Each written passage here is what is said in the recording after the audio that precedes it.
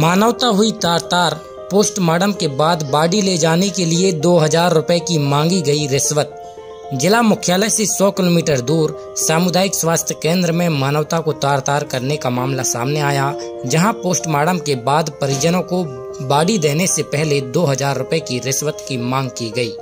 मामला केंद्रीय थाना क्षेत्र अंतर्गत घोटखेड़ा गाँव का है, जहाँ बीती रात एक युवक को करंट लगा और घटना स्थल पर उसकी मौत हो गई। जिसके पीएम के लिए पुलिस ने बॉडी को सामुदायिक स्वास्थ्य केंद्र घनसौर लाया, जहाँ डॉक्टर के द्वारा पोस्टमार्टम कर दिया गया।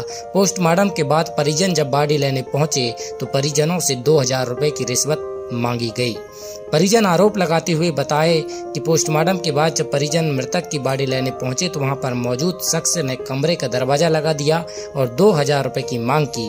परिजनों ने चंदा करके रुपए दिए और बॉडी लिए। इस दौरान स्वास्थ्य प्रबंधन की पोल खुल गई। मध्य प्रदेश सरकार जहाँ एक और ग्रामीणों को बेहतर सुविधा देने के लिए अनेकों योजनाएँ चला रही है, ऐसे में स्वास्थ्य केंद्र में मानवता को तार तार करने वाला यह मामला अनेकों प्रश्न चिन्ह खड़ा कर रहा है। उनकी कल वगैरह रात में करंट लगने से डेथ हो गई। यहाँ पी एम लिए आए पी एम हुआ। पी एम हुआ लेकिन पहले उसने पैसे मांगा। पी एम किया और दरवाज़ा लगा के बाहर घूमने लगा। तब तक पैसे न मिले तो उसने बॉडी सौंप दी किसने पैसे मांगा?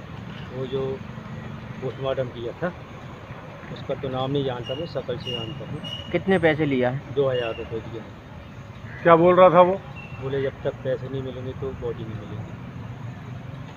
ऐसा हाल है यहाँ का शासकीय हॉस्पिटल घनसोर का।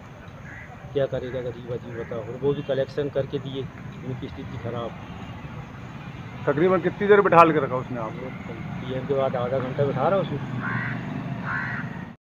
जी वहाँ तो अब क्या है जो स्वीपर रहते हैं आज मोहन वहाँ थे अपने सहायक पी एम सहायक तो उन्होंने पूरा अरेंज रखे थे। फिर हमें कॉल आया कि, सर पीएम है। तो हम जाके करके पीएम कंडक्ट किए। और पीएम करके हमने हैंड ओवर करके जो उधर हेड कांस्टेबल थे, परवेज सिद्दीकी उनको हैंड ओवर करके और फिर हम यहाँ नहाने आ गए थे। फिर पेशेंट इमरजेंसी थे तो इमरजेंसी देखने लगे अतः हमें इस तरह की तो कोई जानकारी नहीं है कि किसी ने पैसा लिया हमारे समय सामने किसी तरह का लेन देन नहीं हुआ है। और अगर इस तरह हुआ है तो वो गलत बात है जिसने भी लिया है, जैसा आप बता रहे हैं कि किसी ने लिया है तो संबंधित व्यक्ति के खिलाफ कार्रवाई होनी चाहिए।